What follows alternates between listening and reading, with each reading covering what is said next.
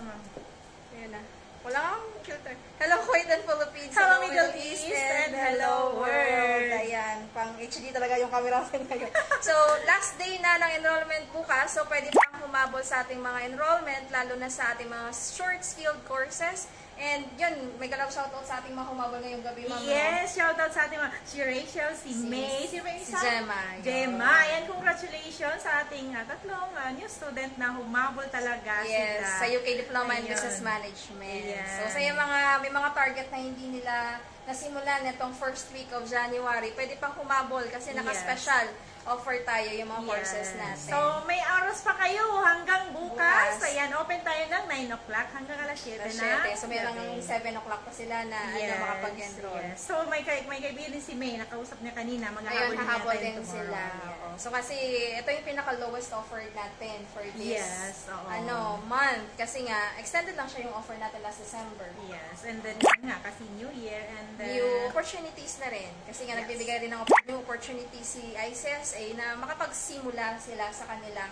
courses. Yes, Yun. yes. Kasi nga bagong taon, ayan, bagong taon, so new opportunities, ayan. So yung mga yung mga bucket list natin ano, dapat ano, may ma-accomplish na. Yes. Kung hindi na-accomplish ng 2023, why Yes. not simulan ngayong 2024? Kasi nga, new day, it's a new opportunity. Yes. Diba? And every day is ano ba, every day ah, dapat ah, lumalaki, go, Yes, nag-grow tayo. nag-grow ayan. tayo. It's, uh, hindi lang physically, kasi Physically, lumalaki. hindi lang sa Oo, oo, okay. Dapat knowledge ano rin, natin, knowledge, skills, at saka Skills, professional ayan. growth na rin. Lalo na physical, wag na.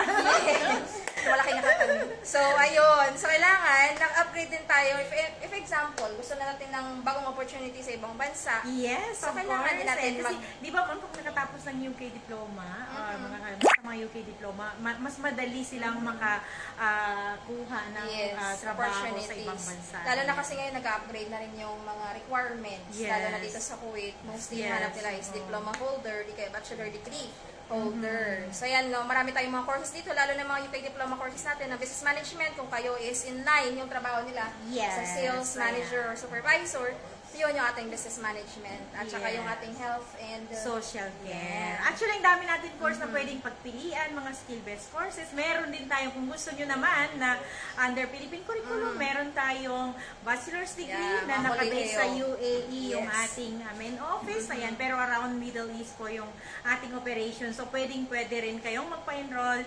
Ayan. So, ang dami natin pwedeng pagpilian. Pwede kayong mag-message na lang or mag-comment below para sa mga katanungan Yes. nyo. So, nag-live kami ngayon kasi kailangan, nagre-remind lang kami kasi last day Yes, na last bukas. day bukas. Yes. Di di ba sila kanina medyo ano pa, pero nung last day na yan, humabol na lang talaga sila. Ayan, So, so, ayan, pwede, see you. pwede kayong humabol. See you See you bukas. tomorrow. Yun. So, maraming salamat and God bless you everyone. Bye-bye.